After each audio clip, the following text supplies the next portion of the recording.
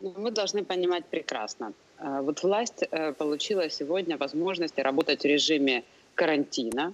И тут правильно привел пример Святослав э, Песку на тех законах, которые э, есть и которые сегодня власть обязана выполнять. Но, к сожалению, что получается?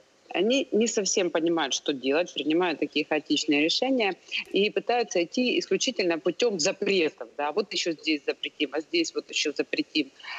Но это не поможет сегодня ни бизнесу наладить, э, там, перепрофилироваться, наладить производство масок, наладить производство тестов. Это не создаст дополнительные сегодня условия для наших врачей. Это не обеспечит сегодня наши больницы. Это не введет сегодня государственный контроль за ценами. Поэтому нужно сейчас идти не путем, знаете, таких запретить все, что можем запретить, а путем умного карантина путем умного, грамотного, секторального подхода. Вот на чем мы настаиваем. Да? У нас есть сегмент здравоохранения. Да? Мы должны мобилизовать сейчас все усилия, четко выявить потребность, четко логистику доставки, четко навести порядок на таможне, мобилизовать сегодня весь социально ответственный бизнес, благотворительные международные организации, государственный режим, расписать сейчас алгоритм поставок и закрыть этот вопрос, обеспечить наших медиков э, средствами защиты, необходимыми медикаментами, и люди успокоятся и будут уверены, что у них в больнице, в районной, в городской, в поселковом ФАПе, что у них есть необходимые сегодня средства для лечения и все инструменты безопасности. Ведь сегодня же массово увольняется медицинский персонал. И не потому, что наши врачи плохие, а потому что у них просто нет элементарных средств защиты, нет понимания, что будет завтра.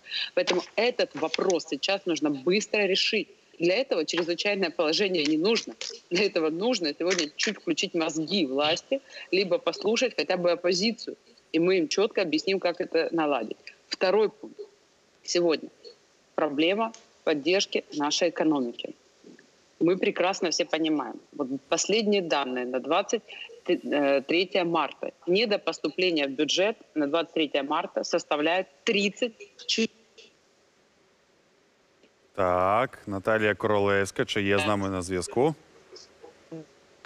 Наталья Юрьевна, вы можете сказать, пожалуйста, где ущемляли кого там и так дальше, потому что что-то не совпадает с теми законопроектами, которые мы приняли? В нових Так, вичерпно. реаліях перемагає той, у кого кращий інтернет. Це так, точно. Наталія Королевська чує нас зараз чи ні? Сейчас чую. Так, зараз продовжуйте, чую. будь ласка, ви Чула. просто зникли кудись. Да. Наталья Юрьевна, можно вопрос, Владимир, Потому что по первому, вопрос. да, Ага, да, да, по первому блоку, который вы сказали, да, с чем мы ущемили?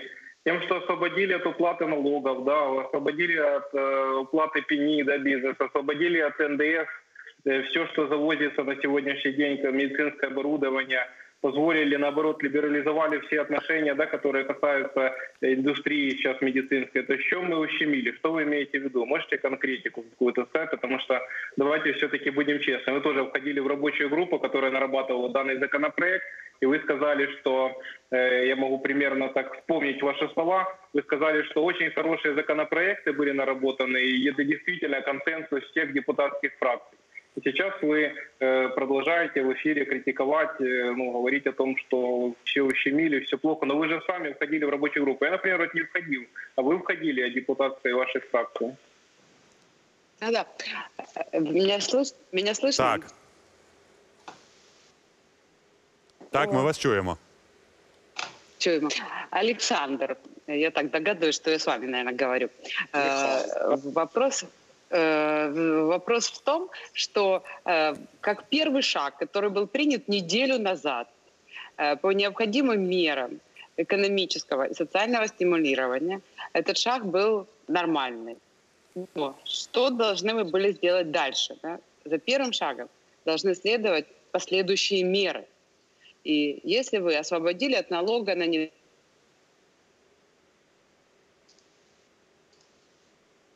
вы дать компенсацию местным бюджетам следующим решением.